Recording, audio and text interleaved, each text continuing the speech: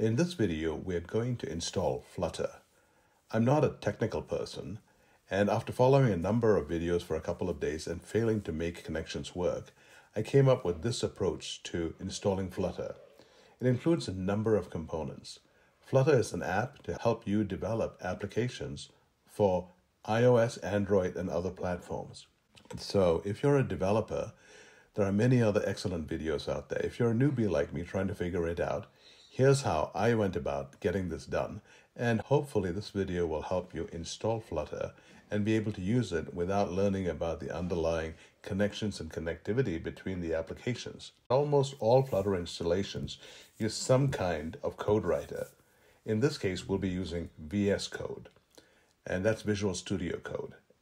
And then with Visual Studio Code, we'll connect to Flutter and we'll have to do a little bit of adjustment with the terminal. And the terminal sets paths so that the programs know where to look for what they need. Finally, to make it all work, if you're on the iOS universe, we'll need to download Xcode.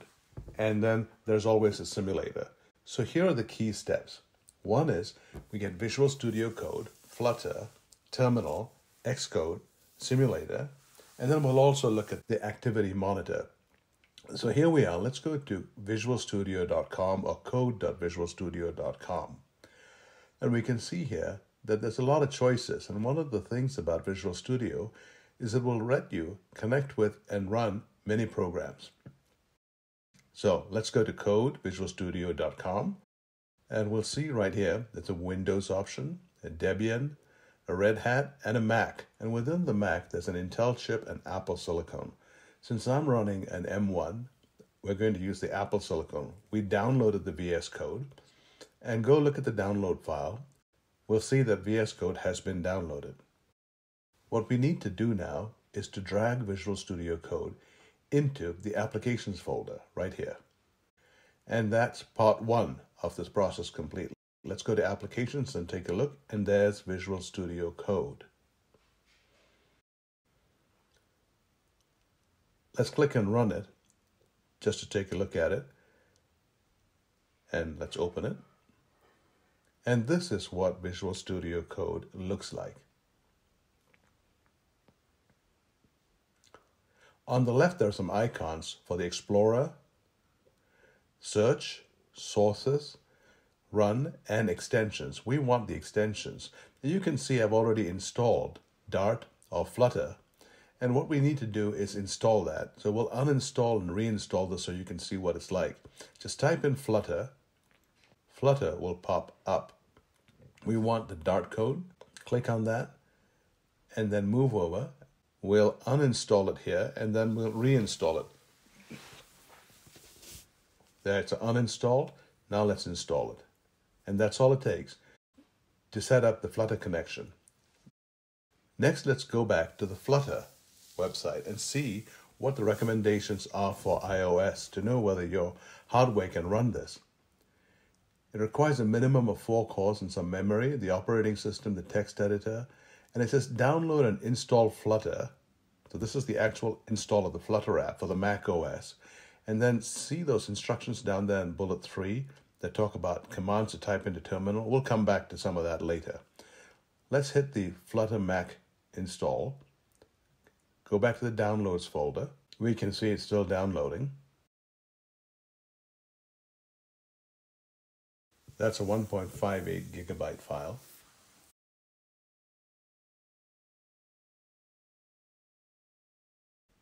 And now looking at the downloads folder, we can see Flutter is out there.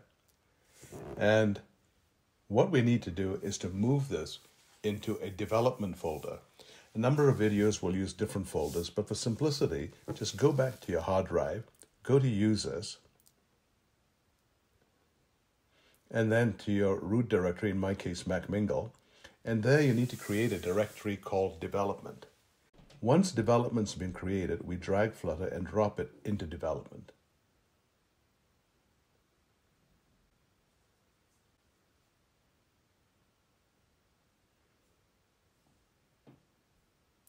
Next, let's open up Terminal and zoom into that terminal window and type in nano.sh. ZSHRC, and this is the command that needs to be in that file. That's assuming you set up that development file. And if it's not that, type that in and then exit.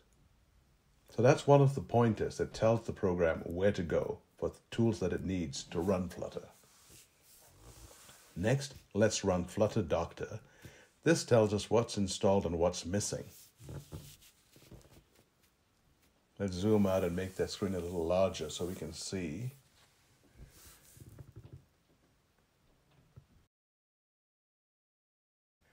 This tells us that Flutter itself is installed. The Android toolchain is not installed, and we chose not to do that. It also tells us that Xcode is not installed. Chrome is, the Android Studio is not, and VS Code and connected devices are all up and running. So since this is not installed and we're not doing that, we can skip that. However, we do need to go get the Xcode. And then there's a command under there that you need to type into terminal at some point after installing Xcode. We'll come back to that too. Move over to the App Store and search for Xcode.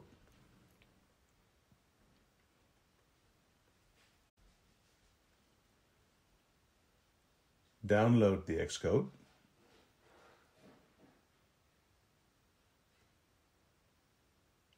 This will take a little while. Uh, it's a pretty large application. And we've sped up the screens here.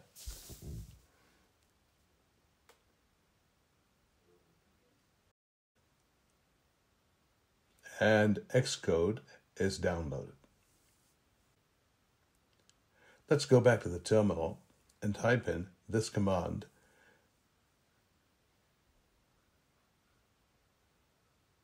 and that command xcode dash select dash dash install should install xcode. I see a typo here. Let's correct that. We'll run it as a administrator, so we'll type sudo ahead of it. sudo xcode dash select S E L E C T space dash dash install. It asks for your machine or user password. Go ahead and type that in. And it'll go ahead and install it. Next, let's activate the license or agree to the license. Again, at the administrator level, sudo xcode build dash license. And now we're asked to read it and agree to the terms of the software license.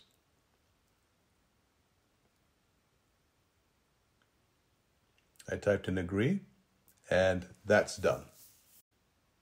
Let's clear the screen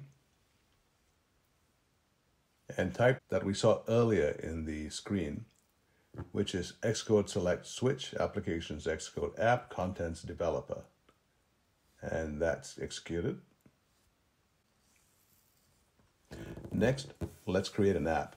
Flutter create my first app. That's a default app that's created that we can use to validate whether or not our installation is successful.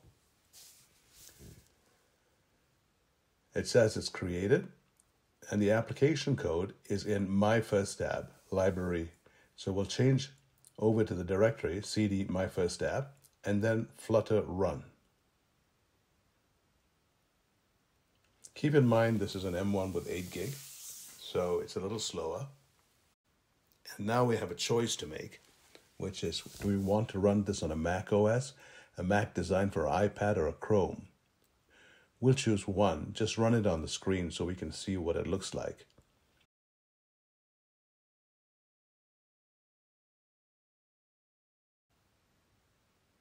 And there's the application.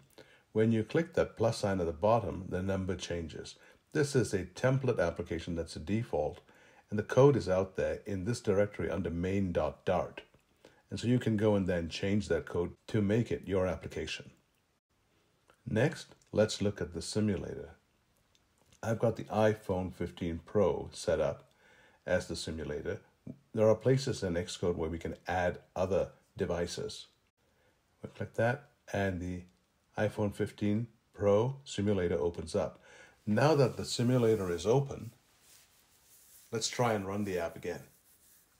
And the command is flutter run.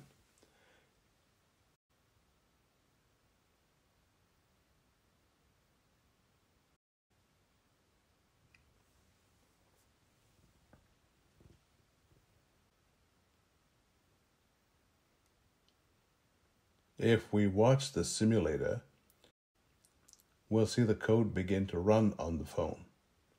There it is. The Flutter app has been created and launched. And on that app, if you click that plus sign, that count goes up from zero. And the app works.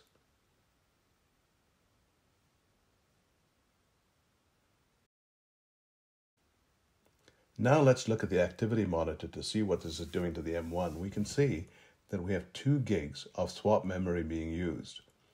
The 8 gigs is not sufficient for it to run, and we can see that the memory pressure is pretty high. If we look at the CPU load, we can see that it's also running at a decent clip, almost 60%. Energy usage, disk utilization, writes, ins and outs.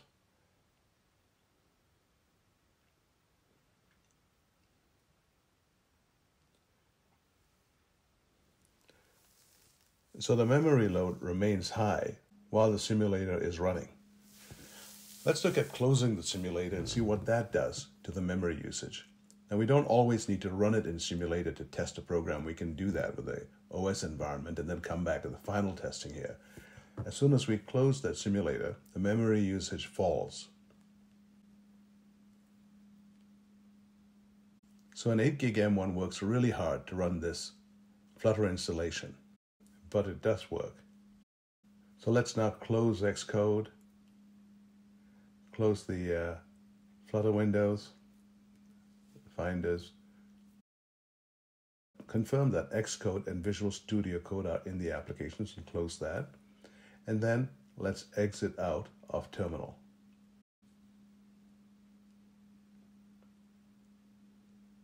Let's click Open Visual Studio Code just to take another look at it. And we can see that the, the Flutter Dart code is installed.